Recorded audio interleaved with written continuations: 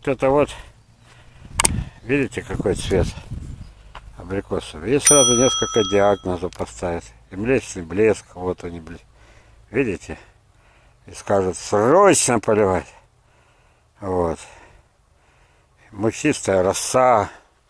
Всего наплетут. Вот он и блеск, вон, вот он роса. Смотрите, видите?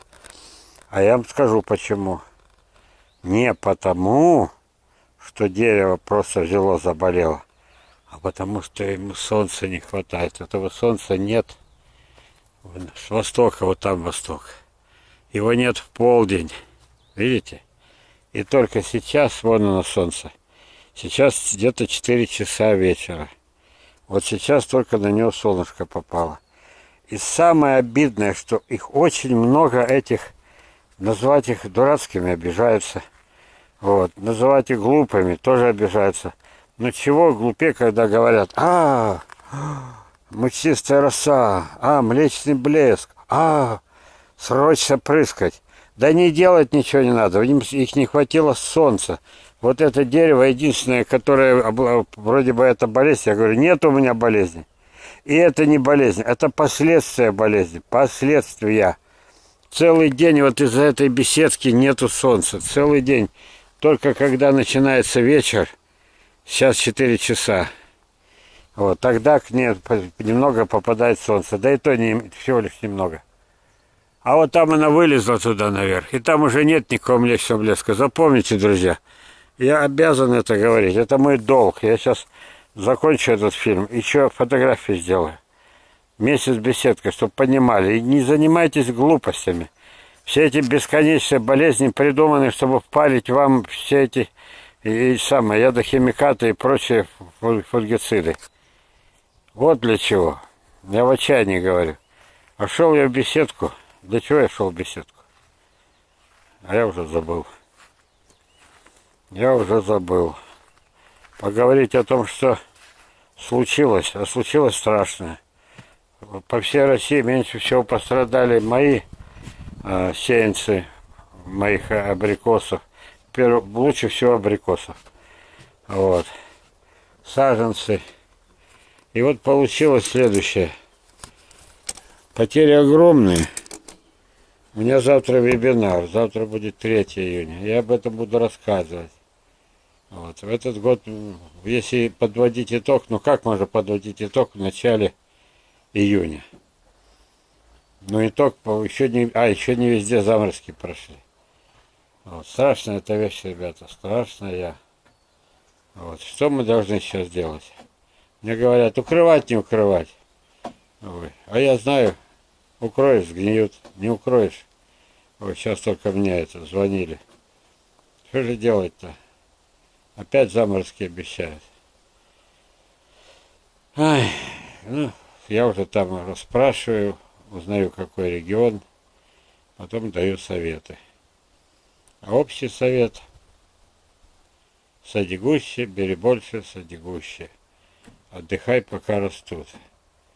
Вот. Чем хорош этот сад?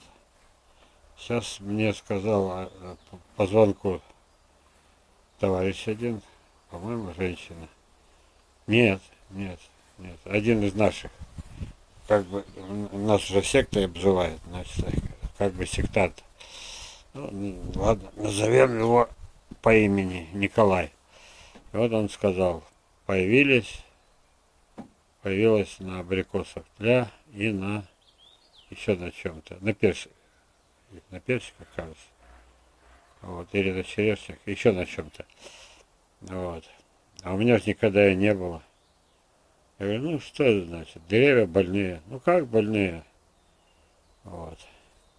А так, на здоровое дерево ничего не нападает. Сколько я водил, годами вожу, вожу, вожу. Показываю крупный план, абрикосы, вот они. Кроме вот этого несчастного с млечным блеском.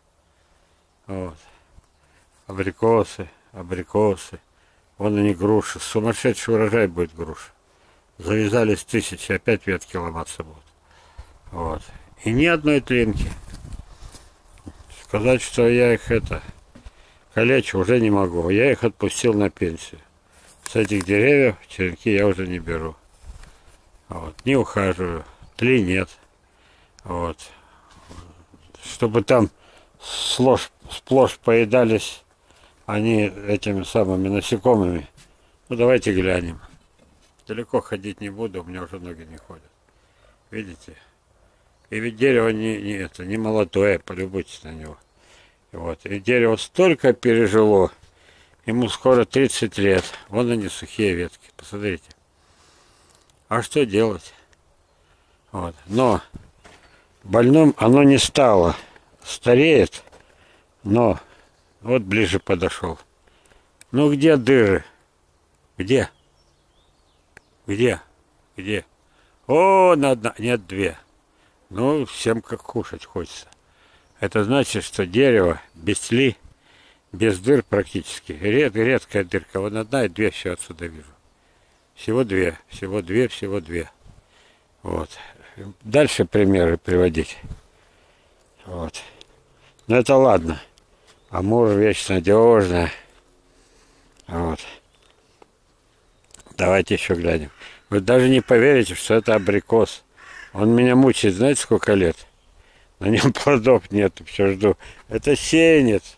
И этот сеянец я выделил из э, сеянца Бродского. Знаете почему и как? Да потому что у него листья неправильные, вы посмотрите.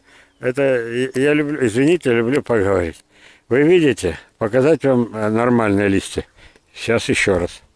Возвращаюсь и показываю абрикос классический амур с нормальными листьями. Убедились, как они должны быть? Видели? А это, вот меня этот дерево убило. Я его пересадил вот, с того участка. Именно из-за того, что у нее необыкновенный лист. Гены чего-то. Может быть, сливы, может, персика. Ну, как это случилось? А это косточки прислал Бродский. Царство ему небесное. И теперь я жду урожая, жду, жду. Вы знаете, как долго сеянца бывает ждать? Оно молодое, это дерево, ему лет шесть, наверное. Вот, а растет диким, это не диким, ну, то есть не, не слово дикарь не подходит, ди, ди, диким, какой-то бешеный э, рост, смотрите какой, уже пересажено было. Ну что, дождемся мы с вами урожая. Вот. Только из этих листьев необыкновенных я его держу и, и жду чуда. Ну, хватит на сегодня. Вот. Где-то минут 15 поговорили. Показать груши сумасшедшим урожаем. Вот. Сейчас. Их плохо видно, солнце мешает. Солнце мешает, солнце мешает. Солнце, солнце мешает. Вот они. А груши крупные, некоторые. Нет, не крупные, некоторые огромные. Ладно, рано я хвастаться начал. Надо подождать. Так. И, наверное, пока все. Как оттуда снимать с той высоты? Груши падать будут, разбиваться, а я буду их еще до этого догнививать и вам продавать в виде семечек. Напоследок скажу, где-то даже с обидой. В этом году я мог заработать на семечках груш. Вот. Лесная красавица, лада, воронежская сладчайшая, десертная, вот, среднерусская, груша латинковая, вот. Вот она, мраморная. И что вы думаете? Ничего у меня не получилось. Вот гости, помните мои фильмы, гости ведро за ведром, ведро за ведром, вот.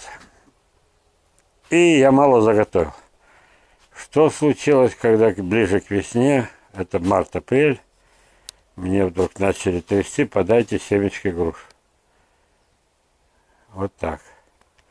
Так что в этом году опять придется душа разрываться. И людей угощать надо и грушу заготовить на семена. Вот поплакал. Сад-то маленький. Большой сад 5 гектар. Тютю канул в лету вместе с мотоциклистами, которые его сожгли. Вот. А я сейчас, знаете, что, чем закончу вот именно этот самый. А? Грустный разговор, грустная жизнь. Вот грустно за страну, которая вот они с другой стороны показывают. Это же абрикос с млечным блеском. Вот. С мучнистой росой. Как хотите называйте. А вся причина в том, что он в тени. Даже сейчас уже 5 часов скоро будет. Нет, 5 не будет, 4 с копейками. Вот. И даже сейчас он в тени. Вот причина. Не это, не морочьте людям голову. Не выдумывайте эти болезни. Это следствие болезни. Точно так же, как комикоз, манилиоз, вот, точно так же, как парша, то, что мы называем э, раком, черным раком, каким угодно раком. Все это последствия. С этим бороться бесполезно. Один из моих постулатов, одно из моих мировых, уничтожать детей с помощью этих ядов только потому, что им надо на них заработать. Никто не знает причины. Невозможно вылечить дерево сложным диагнозом. Ни одно из этих десятков миллионов не вылечили. Не вылечили. Ни одно из десятков миллионов. Придумать такое, бороться с грибами. Идиотизм полнейший.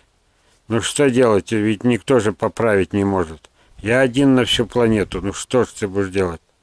Ради чего? Ради того, чтобы маленькая часть зарабатывала, отравляя миллионы людей. Ради этого вот это людей держат в это самое э, в темноте, в невежестве. Вот. Внушают им ненависть к грибам, ненависть совершенно не это, безобидным. Ненависть к муравьям, ненависть к нижним скелетным веткам каждой веточке, которая неправильно якобы растет. Вот. Ненависть э, попутно уничтожает грибы, это почвы, почвенные, уничтожает э, муравьев и этих самых э, червей, уничтожает всю, всю это население бактерия, которая является частью, основой всего живого на Земле. Только ради торгашей, только ради. Кто людям правду скажет? Ну что, надо замолкать. А, до свидания, друзья. Или что? Или хватит уже. Тема такая грустная мне. Вот показываю вот эти вот больные листья. И никто понять не может, что пока, если только беседку эту убрать, вот тогда они сами выздоровеют. Исчезнет этот млечный блеск и это и мучнистая роса. Все исчезнет, если убрать эту беседку телеканал «Усадьба». Показали дерево, которое посадили, растет. И вроде бы ведущая постоянная. Вроде бы она считается опытная. Ну зачем она показала 40 сантиметров от сплошного забора посадила дерево? Ну? Все вот. Разве может она вырасти здоровым, а? Все, друзья, я замолкаю. Вот. На сегодня достаточно. Два кино я снял.